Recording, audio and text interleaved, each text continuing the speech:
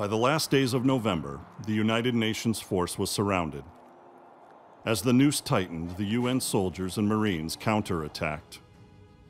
They managed to break out and head south to the port city of Hungnam.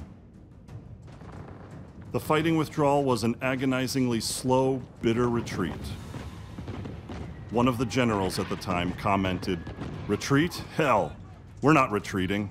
We're just advancing in a different direction. It took nearly a week for the first troops to complete the harrowing 30 mile trek to the sea.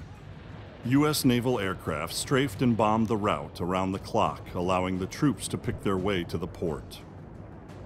If it had been the summertime, we'd have probably been wiped out because uh, the, the, they weren't dressed for cold weather either.